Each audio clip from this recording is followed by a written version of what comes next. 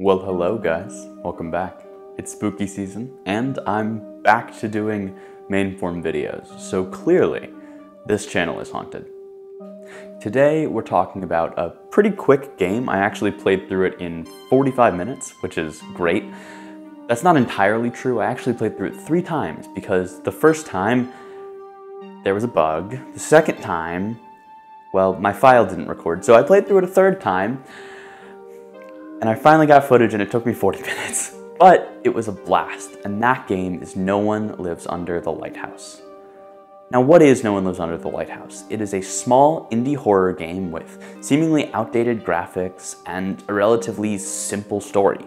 There's not a lot of dialogue, and you, the new lighthouse keeper, have one job.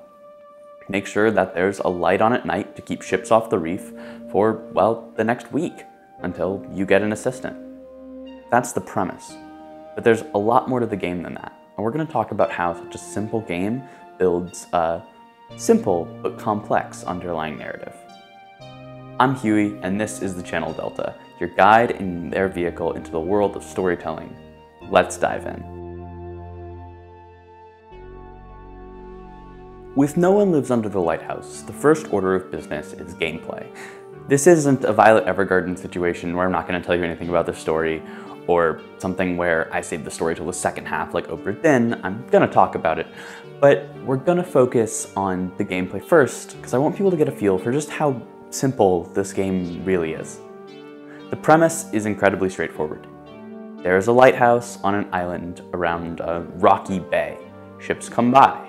It's your job as the new lighthouse keeper, since the previous one disappeared, to take oil from the large vats in the storage room up to the top, light the light, Crank a knob so that the light will rotate as the thing slowly descends down. It's an interesting system. And just make sure that there's light at night. It's really simple. In fact, you don't get a lot of controls. WASD or WASD to move. E is your interact and you can zoom with left mouse button, like literally zoom in the camera slightly. You also get shift to run and that's about it. The island itself is also very simple. There's a tool shed, your house, which has a couple of rooms, a, like an outhouse, and the lighthouse. That's it. By and large, the game seems very straightforward. There's even moments when the options are even more limited than that, and you can only interact with certain objects at certain times and do certain things. Also, if you've looked at the game, the graphics the graphics are incredibly dated, intentionally so. I could be wrong, but somehow I think this game came out this year. Maybe it's recent, it's a very recent game. And so a lot of the elements at play here are intentional. The simple, outdated graphics that make it hard to see things, the very fundamentally easy systems. It's all straightforward and designed that way. To play through No One Lives Under the Lighthouse, you don't even need to have played any games before you just need a functioning computer. It's not even a gigabyte of space. It's very quick and it's straightforward. How could a game like that be scary? Especially when it's not on Rails. There are actually multiple endings you can choose. We're going to discuss the first one and I think the most logical one, but I'm going to leave the other two up for you to decide. But bear in mind for the rest of this video that this is fundamentally a very simple game. And that for our purposes, that's really, really good. Now with the intro to the video out of the way and a short little bit on gameplay done, let's actually discuss the meat of this experience. What's the story, and what are the horror elements of No One Lives Under the Lighthouse? The story is relatively straightforward. You, there's kind of a prologue section where you are the previous lighthouse keeper. You take the oil up, you make the lamp work once, and the game fades to black. You get the first cutscene where a new person is rowed to the island, you. You get off, you pick up a briefcase, and you walk to your house. You unpack the contents of the briefcase, get a key, and head up to the lighthouse. Open the door, get oil, crank it, and, well, it works. That's day one. At the end of day one, when all that's done, you get a cutscene. Seems innocuous enough, it's just the lighthouse spinning, until a boat that was left on the shore for you to get home with uh, moves, something is underneath it, and the camera fades out. You can go investigate, and sure enough, the next day, the boat has been flipped over. This is day two. Day two, you check this out. It's odd, so you decide to go to the lighthouse, do your job. You get there and you do what is there. Well, there are three tasks working at the lighthouse, and this is the only day where you do the third one. The first and second tasks are getting oil for the lamp that is the light, and cranking this um, kind of like pendulum clockwork motion thing that allows the light to turn as it pulls down. It's a gear system. You also have to clean the windows off, which you do on the second day. Once you do that, you come back inside to find that the weight that turns the lamp has been cut. The rope is gone and the sandbags are gone. The first day you were here, you didn't really have anything too out of the ordinary. There are some strange sounds that you hear. Something falls past a window that you can't really see, but that's about it. This is the first genuinely scary thing. You go outside and you grab a sandbag and rope from the shed. You go back, you get another sandbag. They're heavy, you can only take one at a time. And on one of the trips, the third trip, the camera fades to black and suddenly you are no longer your character. In front of you are four insectoid arms reaching out like this, and very far away where you're standing is a couple pixels of you, which then has to sprint. You control yourself, though you can't use your mouse to look. It's a little hard to do, honestly, because it's not super intuitive. You have to sprint to the shed to get shelter.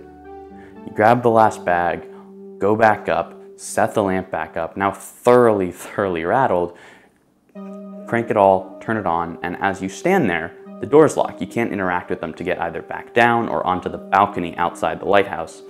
And moths fly all around and coat it, and you hear them. It's like, it's very loud. Then you hear moving below you whatever chased you.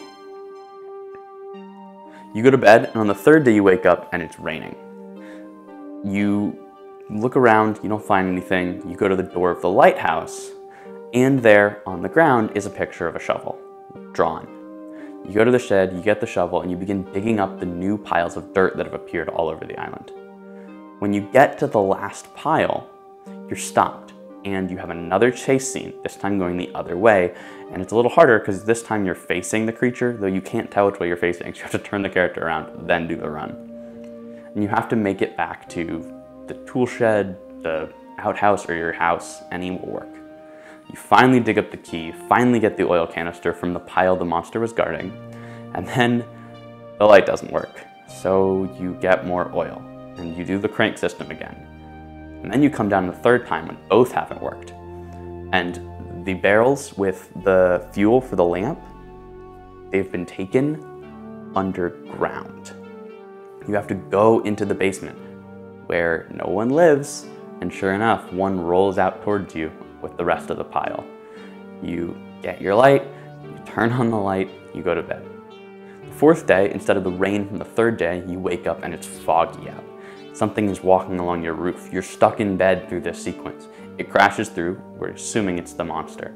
And you're forced to go to the shed, get the hammer and the nails and the ladder and fix the roof.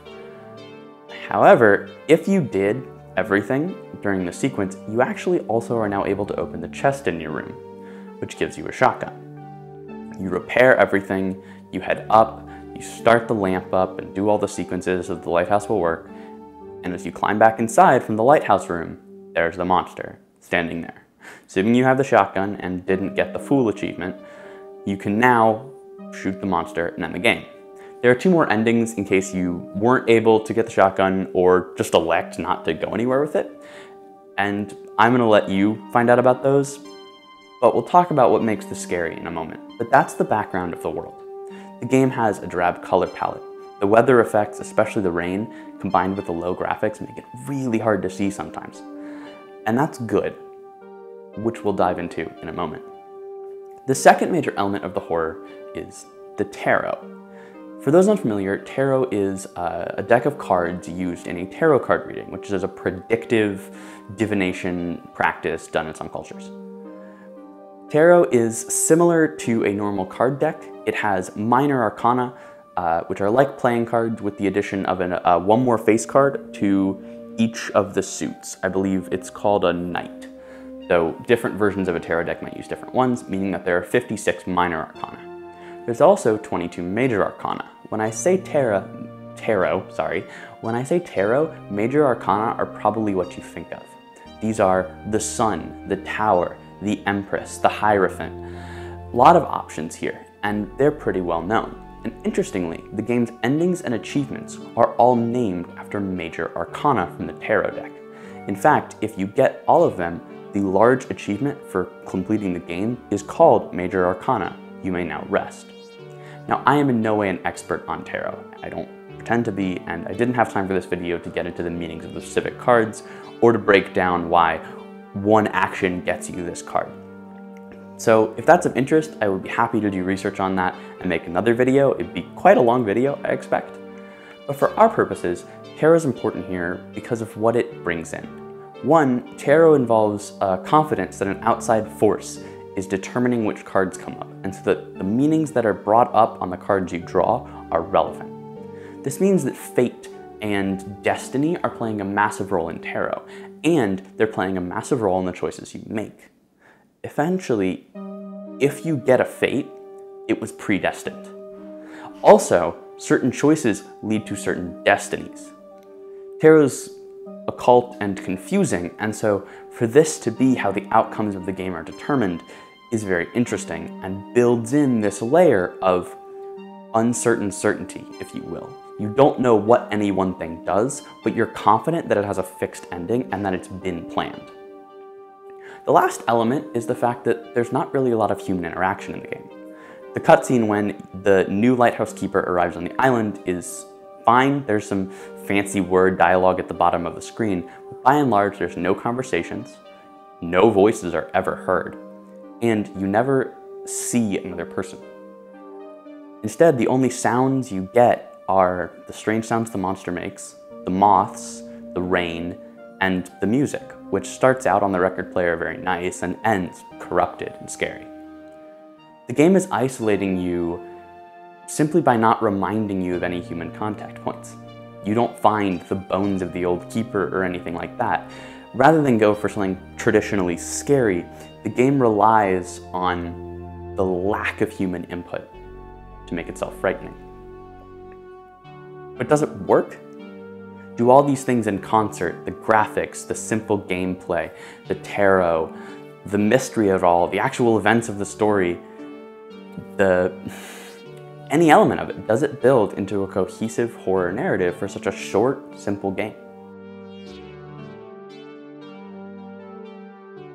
This is where I do conclusions, and that's exactly what we're gonna do for this video.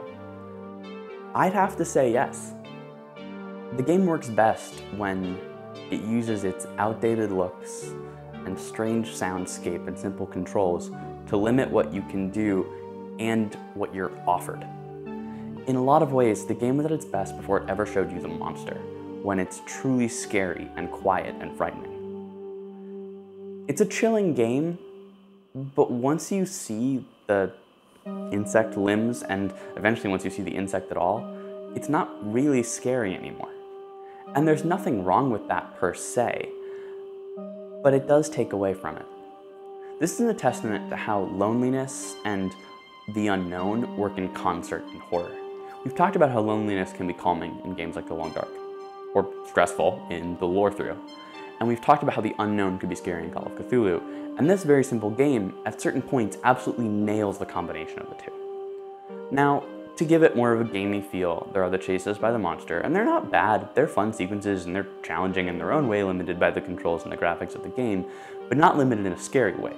Limited in a, I have to guess which way my character's moving. I can't use my mouth to move the camera, so I gotta use WASD to turn myself enough. And that's fine, there's nothing wrong with that. It's quite fun, even. But I think the best moments for a game like this come from when its horror plays on that destiny feel not understanding what's going to happen when it plays into things most people wouldn't totally grasp, like tarot, or when it explores different themes. However, I would absolutely recommend it. It's only a couple of dollars on Steam, and I had a lot of fun. I think it's a good spooky season playthrough. pick it up, give it a shot, and enjoy it. It won't take you very long. Try to 100% it. If you've never platinumed a game before, uh, sorry, PS4 expression. If you've never completed a game before, go for it. This is a great game to do it with. It's fun. Some of the achievements are a little harder to figure out than others. I haven't had a chance to finish all of it, but I've played through enough that I understand it, and I quite like it. Sure, it's not a perfect horror story, uh, but nothing is. Probably the scariest thing is the fact that my hair right here is probably migrated across my face the whole video. But I thought it would be fun to return to this format, to actually talk about a game like this. After all, the things that it does well are clear and simple and easy to understand. The game itself is on a simple premise. It brings in good graphical detail level for what it's doing, meaning the low resolution graphics aid it by kind of adding an air of mystery. The soundscape is unbalanced and inhuman, putting you on edge. There's no grounding point, and there's actually no threat as far as you know for most of the game. Until you fail a chase sequence, you didn't actually know that your character could die. There's no environmental deaths. You can't walk off a cliff or something. All of these in concert set it up to be very scary because you don't know what could actually hurt you in the game. And for that reason, it's actually quite fun. If you want to check out No One Lives Under the Lighthouse, pick it up on Steam, play it at like 3 a.m. You'll have it done by 3.45, you can still go to bed, and you probably won't have nightmares. It's not that scary, but it is fun and it's a good it's a good scare. It's not a lasting one. It's not like watching a creepy clown. It doesn't play on jump scares or gore or anything. It's simply just tension. And I really liked it. It's a great example of how a simple game, through doing choices that fit its style, can build a tense, scary environment that's fun to, fun to work on and fun to talk about too. I've actually had fun getting back to writing for this game. I write an outline for all my videos. So thanks so much for watching. Uh, this is coming out after the Dark Souls lore through, but it's filmed before, so you just watched that yesterday on Tuesday, this is coming out on Wednesday, and then on Friday or Saturday, Long Dark Part 4 will be out. Hope you're enjoying those. I've actually gotten a couple spooky season games, so I'm gonna try to play another one this week so that I can talk about it next week. Thanks so much for watching. I love having you all. Subscribe, hit the bell, and I'll see you in the next one. Bye.